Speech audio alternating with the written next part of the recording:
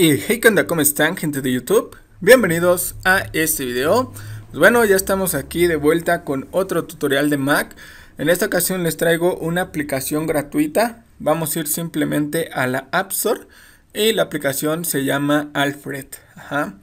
Eh, bueno, está en inglés, pero aún así es demasiado intuitiva que prácticamente no vamos a necesitar eh, leerla tal cual, simplemente le vamos a dar en instalar o ya directamente aquí en, en, abrir. También pues una vez instalada ya la vas a poder encontrar aquí en, en el Launchpad, aquí donde tienes todas tus aplicaciones, aquí lo tenemos. Y para verificar que está corriendo, este se nos ancla aquí a, a la parte superior, ¿no? El comando predeterminado con el que se lanza es con Alt y espacio. Y bueno, Aquí tenemos este engrane que prácticamente no se ve, está aquí chiquitito. Y tenemos varias preferencias, tanto la apariencia, los comandos, la búsqueda, una vista general de cómo se estaría utilizando la herramienta. A esperar a que cargue un, un poco. y aquí lo tenemos. Bienvenido a Alfred aquí nos muestra los principales cambios a comparación de la versión anterior, que en este caso estamos en la versión 1.2. Eh, la web oficial de Alfred, ayuda y pues bueno, también seguirlos en Twitter. Ah, aquí en la parte de general tenemos varias configuraciones que son las que vienen predeterminadas de alguna manera. Vamos a darle un clic o dos clics y vamos a esperar a que cargue. Podemos cambiar el comando con Shift o Command y espacio. Eh, de dónde eres, en este caso es para facilitar las búsquedas de diccionario, ya que también se, eh, bueno, se puede integrar. Y también este, lo utiliza para los resultados de búsqueda. Entonces es importante que le pongas tu país. Vamos a pasar a las características. Y bueno, normalmente nos va a buscar en las aplicaciones que tenemos predeterminadas. Pero, eh, por ejemplo, podemos quitar los contactos. Y una de las ventajas es que podemos buscar desde los bookmarks o marcadores de Safari, que serían como los como los accesos directos, suponiendo que tú anclaste YouTube o alguna página, podemos buscar directamente en uno de los marcadores. Aquí también, si nosotros modificamos el navegador por defecto, aquí también puede cambiar. Y bueno, este, incluir las palabras en, archivos de texto, en folders, en archivos y en imágenes. Yo por ejemplo pues lo voy a dejar aquí, simplemente voy a dejar desmarcado lo de imágenes y los Apple Scripts.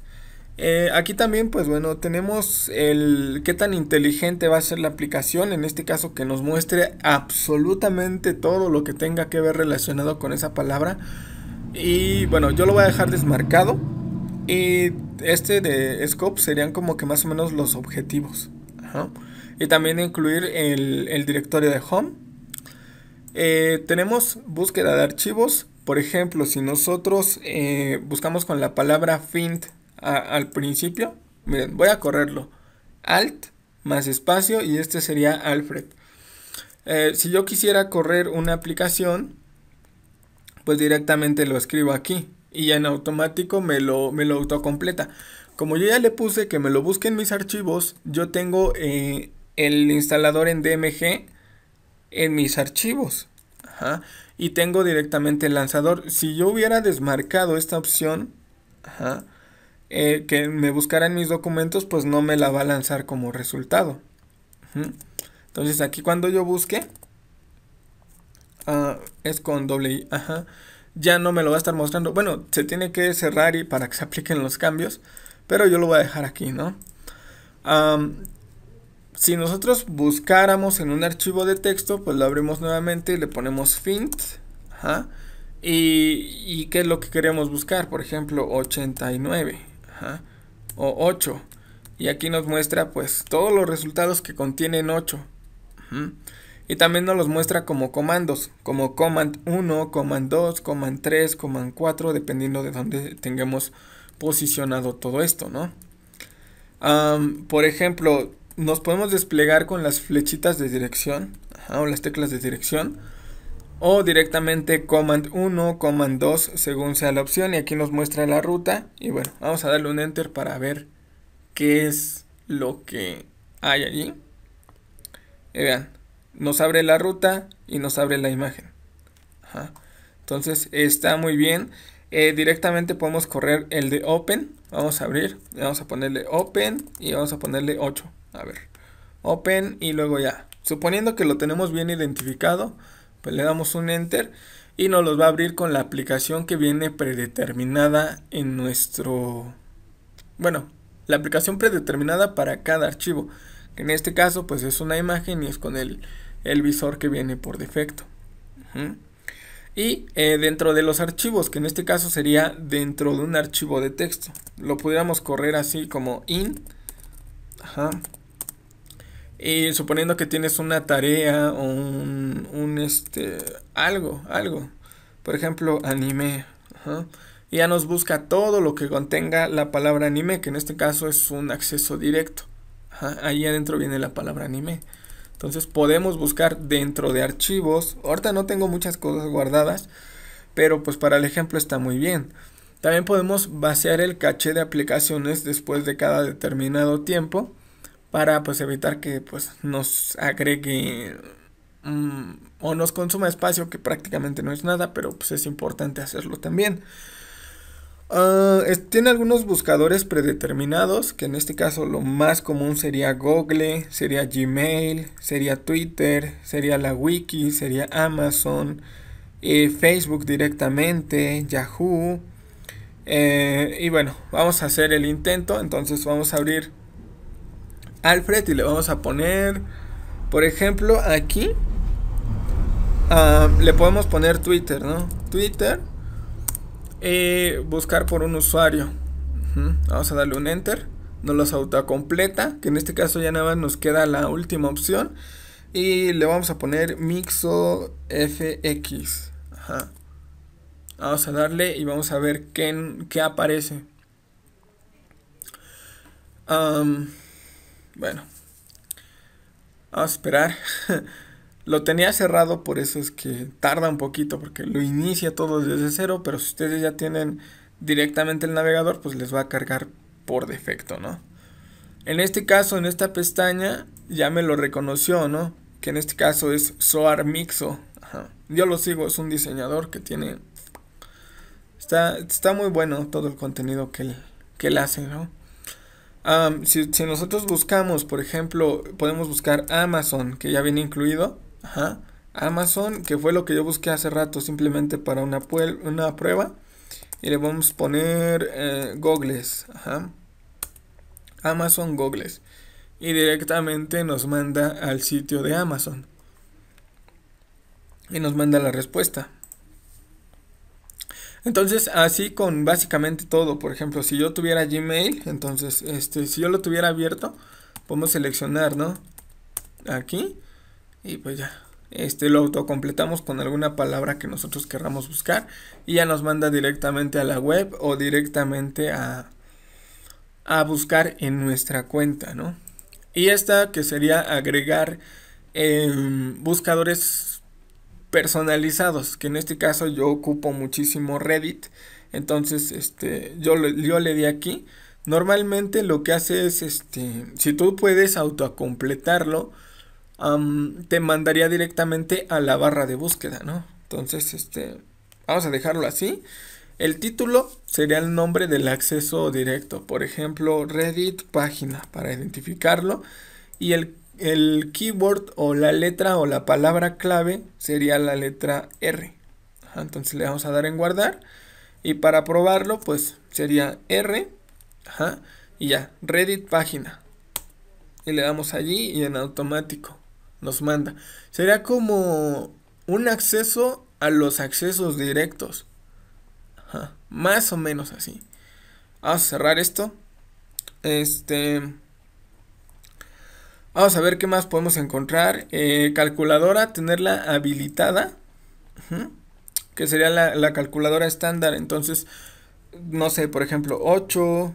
Eh, haz que aquí lo tengo. Menos 3, menos 2. 6, ¿no? O 35, 2, 39, pues no sé. es que no encuentro los símbolos. Tengo la distribución distinta, entonces por eso. Ah, por aquí debe de estar. A ver, vamos a encontrarlo. No, ah, es este. 239 más... Vamos a ponerle así. 806, ¿no? Y también podemos tener el modo avanzado de la aplicación, o la calculadora en modo avanzado. Eh, y bueno, este, marcar un espaciador en específico y el de spilling, que sería un diccionario. No tengo instalada la aplicación, pero normalmente se, se utilizaría de la siguiente manera. Por ejemplo, spill y la palabra que ustedes quieran buscar, por ejemplo, anime. Ah, anime. Le damos un enter. Aquí me va a dar un error porque no tengo spilling instalado. Pero posiblemente sí me dé la definición. Eh, y los comandos del sistema. Que en este caso si tú metes directamente logout, te cierra la sesión y lo puedes personalizar. Por ejemplo, si tú escribes eh, trash, te va a mostrar la papelera. Por ejemplo, papelera. Y ya lo tenemos. Entonces nosotros escribimos papelera y ya nos manda a mostrar la, la basura, ¿no? yo lo voy a dejar en inglés porque pues es más corto simplemente por eso y comandos para, por ejemplo, expulsar el, el ¿no? Desde aquí lo podemos hacer y también estar evitando presionando el, el botoncito y agregar una lista negra. Ocultar y quitar, por ejemplo, esto sí lo ocupo y bastante, muchísimo. Por ejemplo, podemos ocultar, que sería lo más básico, y quitar una aplicación que esté abierta. Bueno, vamos a buscar una y le vamos a poner terminal. La corremos y ya la tenemos allí. Cuando nosotros normalmente le damos en cerrar, sigue abierta en segundo plano y tenemos que bajar hasta acá y darle directamente en salir para que se salga. Terminal. Ajá. Y muchas veces le damos acá, ¿no? Entonces, si le damos aquí, por ejemplo, quit, que sería salir, nos muestra el nombre de todos los procesos que, tenemos abiertos, ¿no? Que en este caso sería la página de Reddit que yo dejé aquí a propósito, ¿no? Que pues habla de muchas cosas, de tecnología. De hecho, incluso es la cuarta página más visitada, creo que a nivel mundial. Eh, pues bueno, tengo cuenta allí. por ejemplo, vamos a darle quit. y ya nos muestra quitar, ¿qué aplicación? Anfetamin también la tenemos abierta, vean, aquí están los marcadores y la tenemos acá arriba. Por ejemplo, quit, este, terminal. Y ya se cierra, ya se nos aparece aquí de que no, bueno, de que el indicador nos muestra que tenemos abierta la aplicación, desaparece. Si le ponemos force kit, ajá, eh, sería un digamos casi casi como finalizar el proceso desde la aplicación del sistema, ¿no? Que en este caso ForceQuit, Safari y lo cierra así sin más ni más, así sin preguntarte. Este yo lo ocupo muchísimo porque bueno, ForceQuit ajá, y Anfetamin y en automático, ¿no? Podemos igual pues lanzar desde aquí, ¿no? Este es que no tengo prácticamente nada instalado, pero bueno, vamos a ponerle terminal. Y nuevamente quit terminal. Ahora, pues eso sería como que todo en general para lo que funciona. Y vamos a pasar al siguiente apartado. Es muy similar para aquellos que, que también vienen de Linux, que yo también vengo de Linux originalmente. Allí encontramos una herramienta que se llama Rofi que prácticamente hace exactamente lo mismo. Vamos a esperar. Y también aquí podemos cambiar la apariencia, ¿no? Eh, light, dark, para que combine un poquito mejor con el tema. Lion, para que el borde sea transparente. Eh, pistacho, que este también sería como que para poder identificarlo más fácil. Y dark, and smooth, que sería un intermedio, que sería gris. a mí me gusta dejarlo en blanco. Bueno, en el de Lion. para que tenga ese, ese marco transparente y avanzado. Ah, aquí lo único que pues yo les consideraría, bueno, le consideraría marcar, pues por el momento sería nada. Creo que hasta aquí está bien. Lo único uh, que sería es que lo podemos correr automáticamente cuando se inicie el sistema. Entonces marcamos esta palomita para correr Alfred en automático cada que se encienda el equipo. Y pues nada más, o sea, sería todo, todo. yo como les digo, sí lo, sí lo utilizo muchísimo. Y aquí, bueno, te, muestra una estadística de pues más o menos cuánto lo has ocupado en estos 25 días, son estos últimos 25 días. Y pues por último la, la de bienvenida, ¿no? Entonces, ya que conocemos el uso general de Alfred, pues ahora podemos estar corriendo desde aquí, ¿no? Tenemos muchísimas, muchísimas posibilidades. Yo creo que el uso más común o más sencillo que se le podría dar sería como buscador de aplicaciones. Por ejemplo, Photoshop. Y aquí lo tenemos. Adobe Photoshop eh, es el instalador. Y Photoshop nuevamente CC 2019 que sería la carpeta, ¿no? O directamente ir a, a la aplicación cuya traducción sería lo que estamos buscando, ¿no?